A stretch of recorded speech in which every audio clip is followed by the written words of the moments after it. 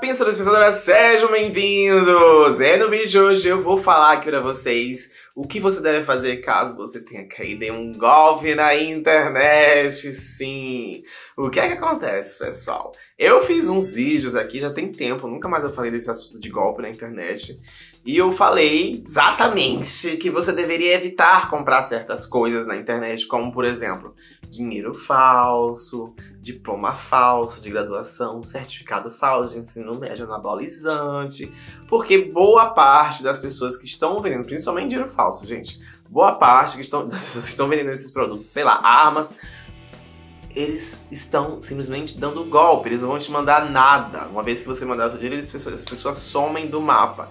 E eu dizia, não façam confianças nesses contatos, pessoas, sites, peguei exemplos concretos, que estão anunciando na internet. Porém, né, porém, muita gente, mesmo vendo o vídeo, ainda comentou no vídeo, ah, queria alguém que me, me enviasse certificado de médio, ou que pedisse dinheiro falso. Daí, outras, os golpistas foram lá e mandaram no telefone, tá? Então, muita gente acabou caindo no golpe com o vídeo que eu tentei fazer evitando o golpe. Beleza, eu tento tirar todos esses comentários aí, tá? Pra poder você não cair no golpe. Mas eu comecei a receber relatos de pessoas, não relatos, mas não relacionados ao vídeo, né? No inbox do Instagram, não tem nada a ver com o vídeo. Viram esses vídeos aí e pensaram assim: bom, esse cara deve entender de golpe e vou perguntar aqui pra ele se isso aqui é golpe ou não, o que cair no golpe é que eu tenho que fazer, né? Eu assim. Eu falei pra você não fazer. Por que você fez? Agora você quer remediar a situação. Mas chegaram outros casos que não são só anabolizante, dinheiro falso, não são só coisas ilegais, tá? Tem golpes também que são feitos com coisas legais. Lojas falsas na internet, pessoas que se fazem passar por banco, por... tem de tudo. Então tem aumentado, eu não sei se tem aumentado, mas pelo menos tem aumentado o número de pessoas que têm. É, pedido esse tipo de informação, né? O que é que eu faço agora que eu levei um golpe, né? Ou perguntando se tal empresa ou, ou enfim, banco, né, confiável, mais casas de empréstimo. Daí eu disse, beleza, vou fazer um vídeo aqui, pesquisar e fazer um vídeo do que você deve fazer quando você cai no golpe. Primeira coisa que eu digo, eu aconselho, não comprem essas coisas legais na internet, com números que vocês verem em comentários de YouTube, tá? Pelo amor de Deus. Mas antes de falando antes de me seguir no Instagram, pensando agora, me seguir no TikTok, pensando hoje, curtir a página do canal no Facebook, facebook.com.br pensando hoje, curtir esse vídeo e inscrever no canal desde já. Os links estão na descrição. Então vamos lá tem diferentes golpes. Eu vou falar aqui primeiro dos golpes legais, vamos dizer. Porque tem uma lista imensa, eu ia falar aqui, mas é muito imensa a lista de golpes que estão rolando hoje na internet. Como eu falei para vocês, tem, por exemplo, a questão de pessoas que uh, foram comprar um produto numa loja que era falsa. Okay? A primeira coisa, pode ter uma loja verdadeira até, que de hora para outra ela para de enviar, o que aconteceu com a Lojas KD, eu fiz vídeo aqui falando, eu quase levei um golpe, eu consegui recuperar, mas muita gente ficou sem nada. E tem também lojas falsas. Então, primeira coisa, preste atenção no seu, na sua barra de navegação, se realmente, se você estiver na loja das, das americanas, americanas.br, vê se realmente está marcado americanas.br. Eu quase caí no golpe assim também. Era um, um Facebook, uma propaganda, e o Facebook está verificando mais agora a a identidade das pessoas que postam propagandas lá, né? Então a gente posts pagos, mas ainda, ainda você pode acontecer. Se alguém te pedir com, é, senha de WhatsApp, entrar em contato com você porque tem que mudar alguma coisa no WhatsApp, atualizar o WhatsApp, qualquer coisa, não dê informação nenhuma, nem sua, nem de outra pessoa por telefone, tá? Mas vamos dizer que você, às vezes, gente, é difícil. Os golpistas são. são os caras trabalham, porque é difícil. A gente que tá, eu que tô alerta, quase que caí em golpes também. Mas enfim, você caiu no golpe, relaxa, tá? A primeira coisa que você tem que fazer é coletar tudo que você tem de informação sobre a empresa. Então, se é uma empresa verdadeira que está aplicando o golpe, que tem CNPJ e tudo, pega, verifica se o CNPJ é realmente ligado a essa empresa, pega todas as informações que você puder da transação bancária que você fez, junta tudo, bate, bate print das suas conversas no WhatsApp, se foi pelo WhatsApp, junta tudo, porque é isso aí que vai te ajudar em seguida a das, da entrada num processo necessário, tá? Daí, beleza, você conseguiu provar, juntar tudo lá, cabeça fria. Você vai e faz um boletim de ocorrência, a primeira coisa. Você pode estar fazendo ele online, aí vai depender. Por exemplo, levei um golpe de 300 reais com dinheiro falso e levei um golpe de 10 mil reais com aplicação bancária. Por 300 reais eu acho que não vale a pena você se empenhar muito, não. Mas se você perder uma quantia maior, corra atrás, entendeu? Então, dependendo do caso, você vai fazer essas etapas ou não. Mas o BO, de qualquer maneira, se você comprou alguma coisa e não recebeu, abra o BO e daí forneça todos os dados no BO que você tem da pessoa. Se você mandou dinheiro de uma conta de banco, qual foi a conta, o nome da pessoa que estava lá, o que você puder, o número de telefone, o que você puder fornecer para fazer o boletim de ocorrência já vai ajudar e vai ficar registrado isso aí. Se for uma quantia muito grande também, o que eu aconselho é que não somente fazer o BO online, ou nem fazer talvez o BO online, mas já ir direto na delegacia da Polícia Civil e procurar saber se tem algum departamento de crimes cibernéticos. Isso aí vai variar de cidade para estado. Então, tem, até o departamento pode chamar de, de crimes da internet ou cibernéticos, uh, de cibersegurança. Então, procure o departamento responsável por isso aí, para eles poderem estar te auxiliando também. Não só em fazer o BO, mas te dizer as etapas onde que você deve, deve ir e passar também essas informações para ele, da pessoa que aplicou o golpe, máxima informação que você tiver para que eles possam encontrar e também ver se bate com outros golpes que foram aplicados também recentemente. Mas beleza, você faz o BO ou vai diretamente na polícia e tenta é, conversar lá com a galera do departamento de crimes cibernéticos, tá? Às vezes eles já têm até informações desse mesmo golpista. E em seguida você pode, se for uma loja que tenha realmente CNPJ e tudo a empresa, você pode estar fazendo a reclamação, faz uma reclamação aqui, faz no Procon, mas principalmente reclamações pode ser que ajude a empresa a devolver o dinheiro. Tem empresa que, que nem a loja das cadeias, que não, não tava me enrolando para me reembolsar o dinheiro de uma mesa que demorou quatro meses para ser entregue. Na verdade, eles nunca iam entregar essa mesa. Eles estavam fazendo falência, tava só esperando a falência declarada para dar, dar o golpe em todo mundo e comprar alguma coisa. Botaram muita promoção antes de falir. E assim, venderam bastante e saíram com dinheiro. Mas enfim, é, o que eu fiz, que você deve fazer, caso seja uma loja, mesma empresa, entrar com um processo. Ou você pega um advogado, ou como eu fiz, eu fui no juizado especial de pequenas causas, né? E lá você pode dar entrada sozinho. Vai ter um profissional lá que vai te orientar e tal. Mas aí é bom você já ter o BO, quando você for fazer isso. A reclamação do PROCON também você pode levar e todos os dados que você tiver para que eles possam tentar enviar alguma coisa para a loja. No meu caso, chegou o correio que eles enviaram na empresa lá e, eles, e, eu, e, e eu mandei um e-mail em seguida para a empresa dizendo: olha, aqui, antes mesmo de chegar o correio, eu falei assim: olha aqui, eu abri um processo contra vocês por causa dessa mesa que custou R$ 1.500. Se vocês não me devolverem a mesa, não me devolverem o dinheiro, eu vou entrar com o processo, vou levar até o final, vou querer danos morais ainda. Se vocês me devolverem o dinheiro agora, eu posso cancelar o processo. Porque na verdade eu só queria o dinheiro da mesa. Eu não queria ter dor de cabeça, porque se você for entrar com o processo vai ter audiência e tal. Enfim, consegui. Mas pode ser que não seja o caso pra você. Mas tente, ok? Daí em seguida, se você não for uma loja mesmo e tal, então aí você não vai conseguir, acho que pelo juizado especial, tem que contratar um advogado. Se você conseguir encontrar a pessoa também, né? Você não pode processar uma pessoa que você não conhece.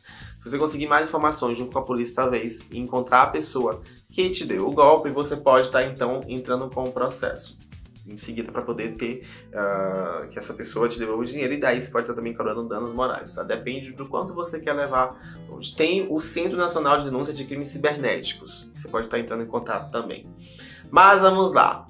Se você fez uma transferência bancária, um Pix, né, um TED, um PicPay, qualquer tipo de transferência que você fez, seja para conta de PicPay mesmo, banco, enfim. Primeira coisa, eh, depois que você foi na polícia, né, o juizado especial vem depois, tá? O processo. Mas isso aí, como eu falei, é só no caso se for uma empresa mesmo que você tem os dados e com advogados se for uma pessoa que você consiga encontrar. Mas caso você não tenha muita informação aí, não está conseguindo encontrar a pessoa, não é uma empresa no caso, você vai fazer o quê? Mesmo também nesse caso aí uh, do da empresa que está te dando o golpe, né? Se você vai entrar, se você no momento que você caiu na real, que é um golpe, isso aí às vezes acontece logo depois que você paga, você entra em contato com uh, o seu banco para que eles tentem cancelar a operação, se possível, tá? E principalmente com o banco para o qual foi, você enviou o dinheiro, ok? Para que a conta seja congelada e você possa daí tentar recuperar esse dinheiro, tá? Mesma coisa se você fez um tipo de transferência, vai, agora tem até pagamento pelo WhatsApp, tenta entrar em contato com o suporte desses, de, desse método de pagamento, desse banco, para poder tentar fazer o ressarcimento direto, tá? E você já chega também com BO, com reclamação, tudo que você puder para poder provar. Olha, o caso aqui, como é que é? Tem um BO, eu quero que vocês bloqueiem a conta dessa pessoa porque é um golpista, eu quero que vocês me devolvam o dinheiro. Pode ser que você consiga, mas muitos bancos podem recusar, eles não são obrigados a fazer isso, tá? Eu vou fazer ou não. Se o banco recusar, daí você tem que entrar um, com um processo com o advogado, processar o banco, porque ele não te auxiliou a tentar recuperar o dinheiro que o golpista levou, ok? Por isso é importante você ter todas essas provas aí de conversas no WhatsApp, onde você fala, onde você fez a transação, tudo, tudo informação, print de onde ele jogou, o número dele no comentário lá no, no, no, no, vídeo que você viu, ou do site falso que tinha, tudo que você puder reúna, porque no processo depois isso aí vai ser necessário. Não só a polícia para ajudar ela na busca e apreensão, né, mas também para poder, uh, depois se você for processar, você ter a possibilidade de provar aí que realmente foi um golpe. Então isso é super importante. Mas uh, fique atento antes de mais nada, tá? Então os passos a seguir só para relembrar, tá, gente? Coletar informações, evidências, registrar o BO, em seguida entrar em contato com os bancos onde o pagamento foi feito, o método de pagamento, e por último entrar com um processo com a pessoa caso ela não te devolva o dinheiro, o banco não liberou e tal. Você pode estar processando o banco, pode processar a pessoa, se você sabe, tem o contato dela, né, tem o nome dela, uh, pode processar até, uh, no seu caso, dependendo do dado, se foi você que viu tipo um Pix, não tem muito como voltar atrás às vezes, tá? Mas se você enviou um outro método que tem ainda como revogar, beleza, aí sim. E daí, o último é então entrar com, com processo com o advogado contra alguém que você recebeu seu dinheiro de volta. Ok, mas uh, daí vai depender, né? Se, se a quantia foi pequena, esse trampo todo, não sei se vai adiantar muito, tá? Dei como perdido às vezes, vai ser mais fácil. Mas dependendo da quantia, não sei se vale a pena tanto tipo, entrar com o advogado para uma de, de, de, menos de mil reais, por exemplo. Mas se foi mais, por que não? Mil reais também já dá para você tentar, porque o advogado vai ter honorários, daí você tem que encontrar a pessoa. Mas na polícia eu acho que é legal você fazer pelo menos o BO, nem que você não dê mais continuidade porque o valor não era alto, porque isso aí ajuda eles na busca deles também encontrar o golpista, ok? Então achar mais pistas e tal para poder pegar a pessoa. Mas fica aí, então, evite os golpes. Preste muita atenção quando você for fazer pagamento, não aceite ligação estranha, não passe seus dados pessoais, não passe nenhum tipo de senha, código, código de SMS. Teve uma cunhada minha que caiu também nesse golpe, foi, foi a gente publicou um anúncio no LX, os golpistas pegaram o número de telefone dela no anúncio e fizeram, tentaram entrar no WhatsApp dela, daí pediram para ela, ligaram para ela dizendo que era do LX e que eles precisavam que ela passasse o número que ela recebeu por SMS. Na verdade, era esse número do WhatsApp. Daí, com uma vez que eles clonaram né, o WhatsApp dela, vamos dizer, eles tentaram pedir dinheiro para as pessoas que estavam ali nos contatos, se passando por ela. Então, tipo assim. Tem muito golpista, tem golpista por telefone também que liga no PIF aí no seu número. Uma tia minha caiu nesse golpe também e ela passou várias informações pessoais sobre minha pessoa, então evite. Ok, mas, mas, mas se você comprou algo ilegal tá, na internet, e aí que entra os vídeos que eu fiz, algo ilegal, uh, pense duas vezes. Antes de ir na polícia, se viu dizer que você quer o ressarcimento do dinheiro que você passou pro golpista para comprar, sei lá, uma arma, para comprar é, o que foi que eu falei, dinheiro falso, por exemplo, tá? Então não entre nesses esquemas pela internet, que a chance de você cair no golpe é muito grande e as chances de você recuperar esse dinheiro em seguida é zero, porque você já estava errado de tentar de comprar dinheiro falso. Você já tava, você comprando dinheiro falso para dar um golpe em outras pessoas, ainda deram um golpe em você, ladrão que rouba ladrão. Então pode ser então que se você chegar comunicando isso na polícia civil, eles vão olhar para você, ah, você queria comprar dinheiro falso? Por quê? Vai fazer o quê? Para decorar sua casa? Que não vai ser, né? Mas fiquem atentos quando você. Então, não, não, não. Né, nesses casos de coisas legais, eu pessoalmente não iria registrar BO nem nada, não. Deixa morrer o assunto. Pode até registrar um BO, mas pode ser que o BO se, se volte contra você. Mas preste atenção, principalmente, gente, quando vocês forem comprar na internet, procurem no site o CNPJ da empresa, se você não conhece a empresa. E uma vez que você encontrou ele, procure ver se o CNPJ bate real mesmo, realmente com essa empresa aí. E se você vê qualquer coisa meio embaçada que não deu para entender, deixa pra lá. Tá? Se a oferta está muito boa, o preço está muito mais em conta, desconfie. Okay? Desconfie mesmo. Muita gente cai nesse tipo de golpe hoje, inclusive até a loja que eu falo sobre aqui no canal, a loja Flash, existiam clones dessa loja, eles usaram meus vídeos para postar no Facebook, falando dos produtos, daí botavam outro link que não era da loja Flash, teve mais de uma pessoa que caiu nesse golpe da loja, da loja clone, da loja de clone, e depois me encontraram no Facebook e viram me dizer que a culpa era minha. Eu disse, mas passa o link aí da loja que você entrou. Eu disse, mas não, essa não é a loja Fresh, não foi essa loja que eu, que, eu, que eu dei o link. Você viu esse vídeo onde? Daí a pessoa tinha visto em outra página do Facebook, enfim.